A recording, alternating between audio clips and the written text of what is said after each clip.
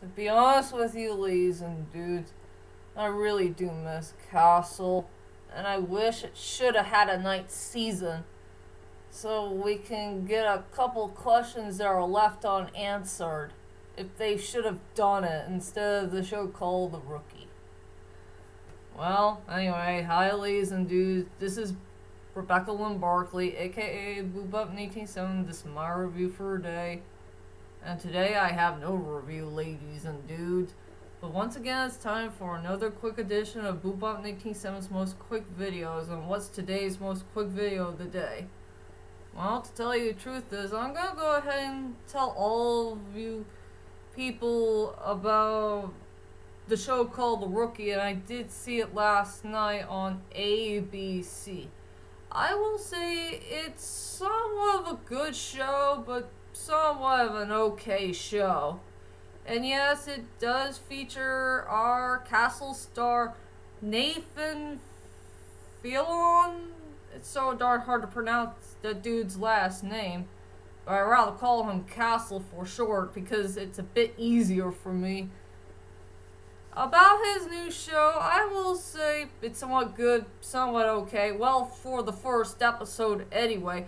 There are some positive things I do like about the show and some negative things I don't like about the show. Hi, C. How you doing? well, I'll just go ahead and tell you about my main positives and my main negatives to the show.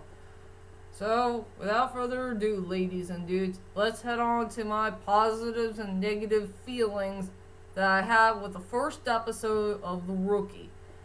Castle's new show. So, what are my positives of this show called The Rookie? I will say for my positives, I will say I did enjoy the casting. Well, I know Castle is one of them, but I do enjoy those other people who are the main cast. Well, you know, the main police officers and some people we don't know of. And yes, ladies and dudes, I will tell you the truth right now about the new cast for the rookie. I really don't know them much. All I know is the guy who did Castle. Yeah, I will say all of them are very good. They did a well done job with their characters, and I do care for some of them here or there, but they picked the rightful cost at the rightful time for this show. So yeah, my main first positive is the casting. Um, I also fell in love with the cinematography. This is one of the best cinematographies I did see so far for one of the shows. It was very sharp, very clean. It was very well fast paced, and it has a really good picture quality. It's so darn lovely in so many ways. So yeah, I will say the cinematography is really, really good. I will say the best cop character uh, that I did enjoy for the show is definitely the female police officer, the partner of Castle. I really love this character. She has a great personality, great attitude. She has a bad A-word look on her face. She's a tough cookie. And she knows what the heck she is doing. You know, taking things seriously and teaching Castle's character how to be a really good cop. She's a really, really cool teacher. I just love this character to death. So yeah, I love the female police officer. She is truly the best one out of those three main cops who are the main teachers for those new characters who wants to be the main rookies. Well, if you guys get the picture. Another good positive thing I do like about the show is definitely the drama.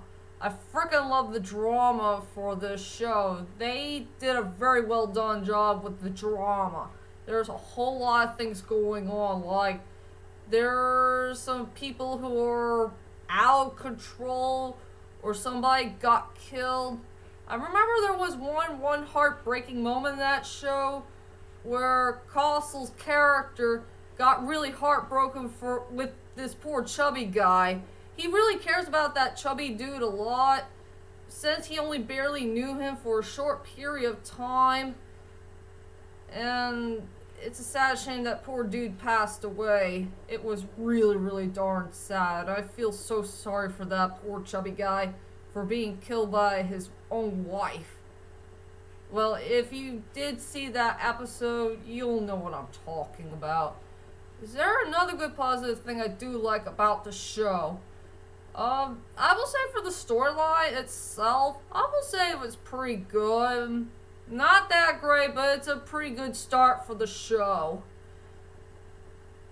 You know, um, I will say it's good, just good from start to finish. But there's a couple of major flaws I did found with this show. It really did bother me. There another good positive thing I do like about the show? I'm afraid that's it. That's all I could say about the positives. Oh yeah, um, Castle's character. I will say the Castle's character is pretty darn good. Um, he's a really good, likable character. He wants to take things seriously at his job and try to be a good cop as soon as he can. That's all I could say about um, Castle's character. As is John I forgot the dude's last name. Oh, John Norland, if I remember right. Yeah, it was John Norland. Oh my god, last name right. Well, you guys get the picture. So yeah, I do enjoy Castle's new character as this guy who wants to become a cop. So that's all the positives I could say about this show. And now let's go on to my negatives and I'm sure everybody will be surprised about this. Okay, for my first negative, I will say The Rookie is somewhat of a, a good show, but an okay show. Um, I do have some, like, a medium upper side mixed feeling about it. I will say it's not that memorable as Castle. I know it's just an early start, but to tell you the truth, this ladies and dudes, I rather prefer Castle better because it's such a great show. I grew up with this show. It was a very fun show to watch. It had a great storyline, good memorable characters, beautiful cinematography, great comedy, good drama, good mystery, good romance. And I just wish they should have had a ninth season. I mean, a great conclusion to the show. And since there's only three mysteries that remain unsolved, like when the heck we're going to see Castle's father again, he still remains a mystery to us. Will we ever see this dude again?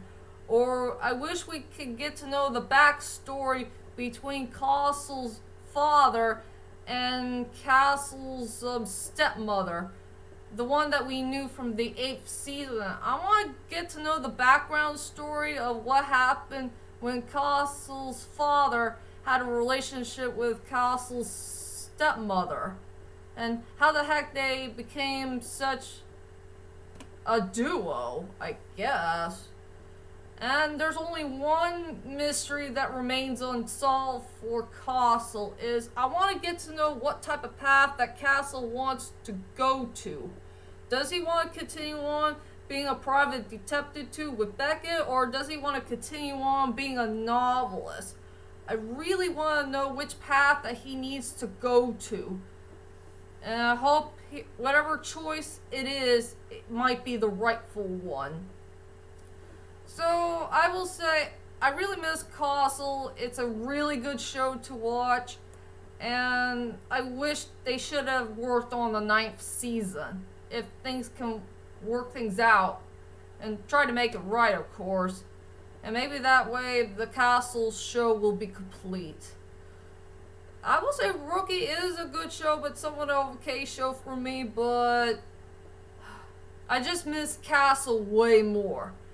Okay, my other negative I have with this show is they gave Castle's main character the wrong love interest at the wrong time. It feels like that stupid evil curse all over again that came from that stupid false series of Taken. You know, where those stupid directors, the producers, the screenwriters, whoever these people are, they really did give Bryan Mills the wrong love interest at the wrong time. And that love interest that Bryan Mills had is nothing but a whore. And we need to stay away from whores. Whores are really, really dangerous, and they're nothing but a dangerous disease for all of us. Yeah, this show, in the rookie, Castle's character uh, fell in love with this bartender person. And I don't know why he wants to sleep with a woman that he doesn't know of. And that was the most stupidest thing I ever seen in that show. Seeing our beloved Castle playing a character who got divorced and he has a bad life. He's trying to restart his life all over again and try to be a cop as soon as he can. And here he is at a stupid bar being with this woman that he doesn't know of. I think that was kind of stupid for those directors, the producers, the screenwriters, whoever these people are, giving us a dumb A-word evil curse of a show where a main character is in love with a, with the wrong woman at the wrong time. It was way, way too rushy. That was so darn stupid of them. So I have a message for all the directors, the producers, the screenwriters, whoever these people are. Please stop giving these main characters the wrong love interest at the wrong time. Whoever these women are, they're nothing but dumb A-word whores. All they care about is just being whores and being getting involved with the curse of doing slutty things and just be with someone that we should like. Something like that. So stop doing that. I'm sick and tired of that stupid plot line that involves a very stupid thing indeed. Okay? So no more of that. Well, that goes to the same thing about Third Person, one of the worst movies I really don't like from the old gray mind, Liam Neeson. They had that stupid plot development for that movie. Well, if you guys know me, I just don't like that plot line at all. So that's the first main negative.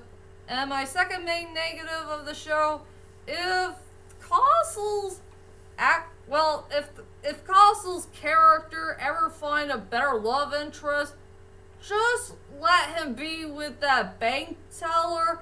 I think he's way more interested in that bank teller lady, the one that came from the beginning of the show. I think she might be a much better love interest than the one for, who's in the bar. So, I just wish we could see that bank teller lady again instead of that bartender lady. Because I think that bank teller knows that main character very well and I think they had a good history with each other. Maybe they should have thought about that idea instead of the one where he has a relationship with a, a whore who's a bartender. And that's all the negatives I can find for the, the rookie show. So overall, I'm going to give this rookie show a, a 7.5 out of 10. There are some good things about it, but sadly there's some bad things about it. And to tell you the truth is, I just missed Ca Castle. It's still a much better show than this one you know, it's so darn memorable to me, and there's still some questions that are left unanswered, if you know what I mean. So, that is it for now, so I'll be back for my next videos to come, and I promise to all of you I will do another top 10 list for all of you. So for my next top 10 list is the top 10 best magical scenes ever in one of our favorite films of all time. So yeah, we're going to do a magical list for October. Yeah, it's to be an exciting thing indeed. So be prepared for my latest top 10 list to come. My magical top 10 list that you'll never forget in YouTube history. And I'll see you guys later and sayonara.